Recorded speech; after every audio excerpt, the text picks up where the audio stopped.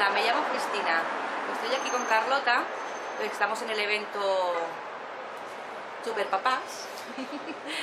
y bueno, yo quería comentaros sobre la, homeopatía.